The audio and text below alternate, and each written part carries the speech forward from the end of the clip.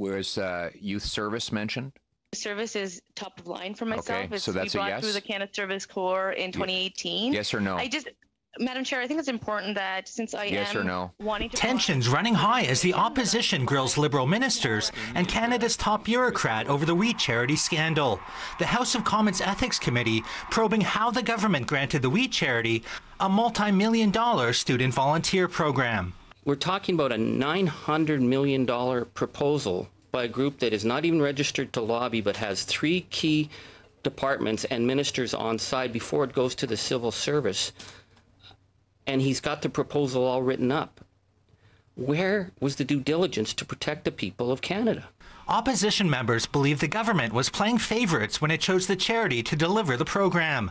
News that the Prime Minister's family was paid for speaking engagements and the Finance Minister received a paid trip from the charity has the opposition smelling blood. Was the Prime Minister's family relationship with we ever raised by anyone?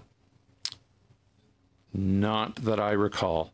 After the multiple revelations, the government ended the contract with We, leaving thousands of students without volunteer positions. The opposition has called for the Prime Minister and Finance Minister to resign over the scandal, but neither one has caved to the pressure. Yet. Despite the cancellation of the deal, opposition members are still left with a pressing question where is the money? $30 million has been released to the, uh, to the organization through the contribution agreement. I was not aware of how much money has been returned, and I have offered to provide that information to the committee. The Liberals will be grilled on the issue again tomorrow at the Finance Committee, where two more ministers will face the firing squad. In Ottawa, Nigel Newlove, City News.